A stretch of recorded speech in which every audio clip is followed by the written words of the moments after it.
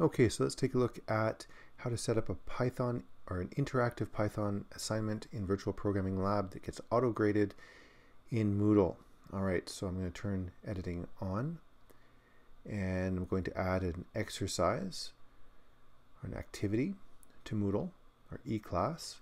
Click Virtual Programming Lab right there and I'll give it a name. And, and this is going to be just a regular Hello World kind of assignment, nothing fancy just to show you how it works. So I'm naming the assignment right here. So again, I'm in instructor mode on Python or in eClass right now. And I'm giving a short description. And typically you want to give a longer description with hints and that for the students. It's going to be out of 100, this uh, particular assignment. And uh, I'm going to set, do some settings here. So I'm going to go to execution files. I'm going to say what I'm looking for in the output from the Python program the student's going to write or the template that I'll give to the students.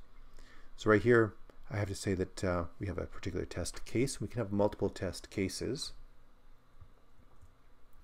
And the output for the test case is going to be hello world, or what we're going to be comparing is the string hello world like that to what the student produces in their Python program.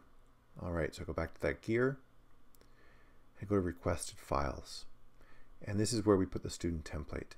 So it's important to give it a, a good name, and uh, but what's critical is the file extension. So .py for a Python program because VPL will recognize that as Python and use the Python tools to uh, to run it. So print and hello world, that's the string that'll be printed out. I save it using the diskette icon. And now I'm going to go back to that gear.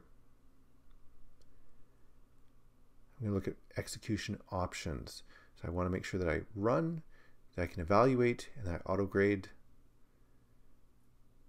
And I can choose Python explicitly, or I can just rely on the .py as being um, the hint that VPL needs to, to choose Python as the uh, environment to, to run the program.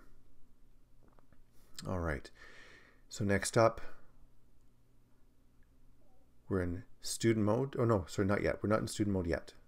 Um, if we are not running off of the uh, Spanish servers, which we shouldn't be, um, we specify the local server at York uh, right here in local execution servers, and we end that list with end of jails. That's that's an important little phrase to put. Okay and yeah that was that's what's going to be uh, that's what the um, student is going to end up using as their code template. We could make it more difficult than that. We could make them write the whole thing. But uh, for the purpose of this exercise we're going to switch over to demo student now. And we're going to have the demo student or the fake student run that particular program. All right so there's the template right there. We could also go and get it through the gradebook uh, menu so here you can see there's the assignment. It's been assigned zero grade so far. We click on the name of the assignment, get back to the same place.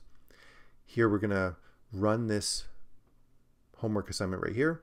It prints out hello world. I could have edited it. I could have made it different. I've evaluated it now and it gives the student a grade out of 100. 100 out of 100, one test run, one test passed. The student then goes back into the grade book and checks to make sure they received the grade. And they did.